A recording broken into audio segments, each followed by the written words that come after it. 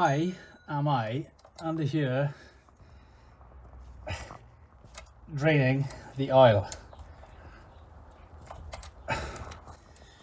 Some would say, oh, it's because you've run it in a little bit and you want to change the oil because it's good practice. No. This right here, leaky leaky, is coming from right about here, which is, I believe, the crank seal. So, engine's gonna come out, fix the crank seal. I'm gonna redo the oil return anyway because I'm not happy with it. And um, yeah, drop it back in. Shouldn't take me long. It's uh, it all comes out fairly easy by now. It also makes sense why these uh, these drive shafts have been left off. I probably knew about it ages ago, but I forgot. there. Anyway, drain the oil and uh, pull the engine out.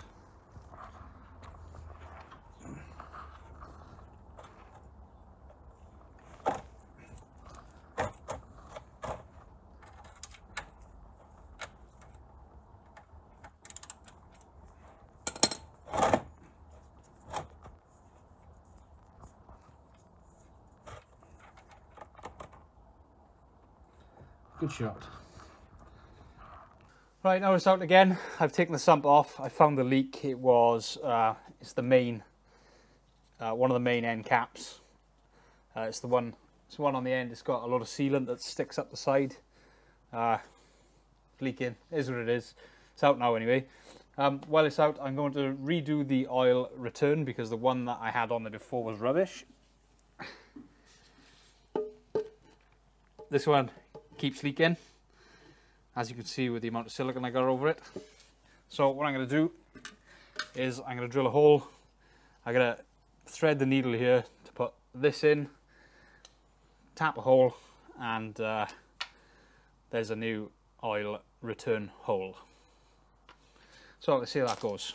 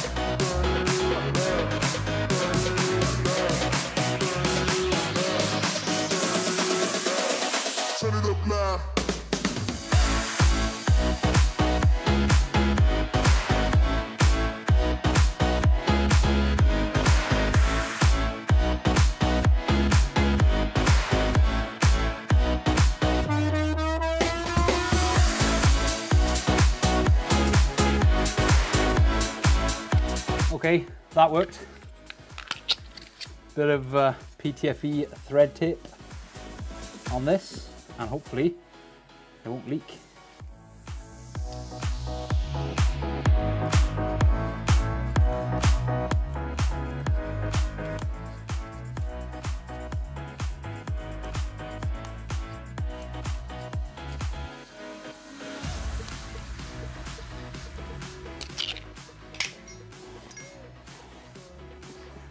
This is a BSP, um, sorry, MPT thread, so it is tapered, I believe. Yes. So um, yeah, when as this goes in, it'll tighten up.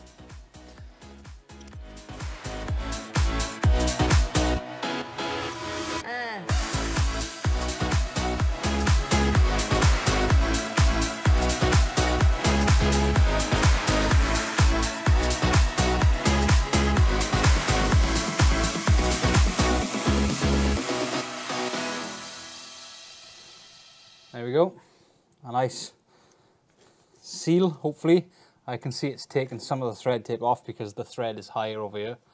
Um, but hopefully there's some thread tape in there. We can have a look when we lift it up and take the sump back off. That means now I can get rid of this rubbish. No wonder it was leaking. that wasn't even tight.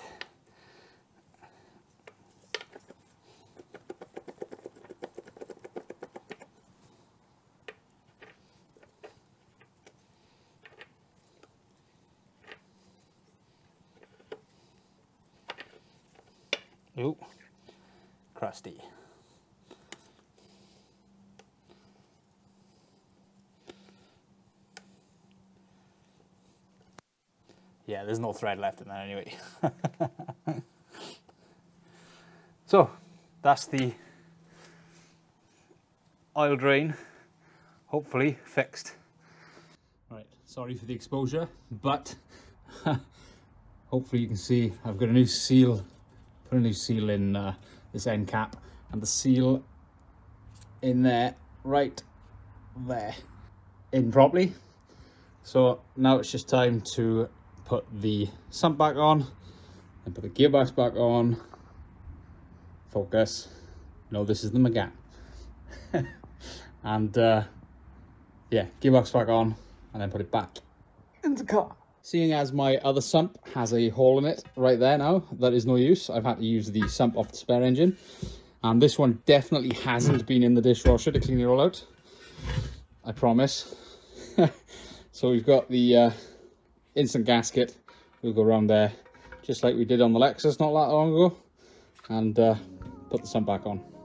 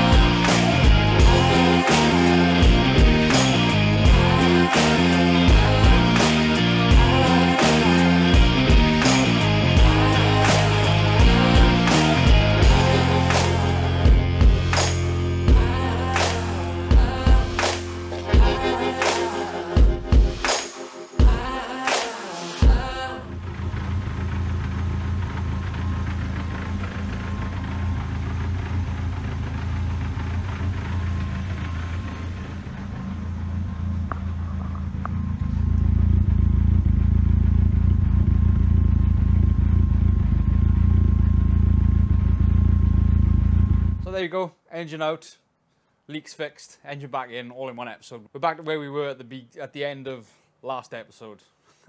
Having said that, I know I dropped the teaser on you last time, but uh, I got, got another teaser. Uh, we're still not finished. There's still more problems. Uh, so join me next episode to find out what the issues are. Um, hopefully I fix them by now, but you'll find all that out in the next episode. I'm actually quite happy with the way the engine is at the moment. There's actually no leaks on the floor. That Megane always leaves something on the floor, but now we've got nice dry floors. It's, it's great. It's, it's unheard of. So yeah, I'm quite happy with the way the engine's sitting at the moment and the way there's nothing left on the floor. And it's starting to look like we can start thinking about taking it for mapping, taking it for MOT, etc., etc. Until then, um, thanks for watching. Uh, appreciate the uh, the views. I know not everybody is as interested in the Megane as they are in the Focus, and even people seem to be losing interest in the Focus at the moment. But uh, it'll be back at some point, and we can start those videos back up again, so you'll get some more uh, Flexus content. Uh, in the meantime, uh, thanks for the view. Uh, it all helps. Give the video a like if you liked it. Subscribe to the channel so you don't miss uh, updates on the Focus, updates on the Megane, and even updates on the Mercedes because I've started live streaming the the fixing of this um, of this as well. And if you can't get enough of my postings on YouTube, the channel's also got a presence on social media, uh, Facebook, Instagram, Twitter. Uh, go and have a look over there, subscribe, follow, whatever you're going to do on those uh, on those platforms to um, to keep up to date. And as I mentioned last week, the channel now has uh, memberships, so you can join on YouTube. Don't have to go over to Patreon, but you can still go over to Patreon and, and, and help support the channel there as well. Uh, entirely up to you. Both same perks. Uh, you get what you need. I've just opened up the option of YouTube for those who weren't comfortable with Patreon. So either way, if you want to support the channel, we've got Patreon, link up there. Uh, we've got YouTube memberships, link in the description. And there's no obligation, but if you want to join, help support the channel, it's greatly appreciated. You get your perks, you get uh, you get that little bit extra. And those who are actually supporting the channel on Patreon currently and soon to be YouTube members, you actually know what color the focus is going. You've seen updates while it's been away for paint, uh, and the rest of you are going to have to wait until I actually get it back. So if you're interested in that, please uh, think about supporting the channel. In the meantime, I'm just happy that the Megane is back up and running, and there's no more problems.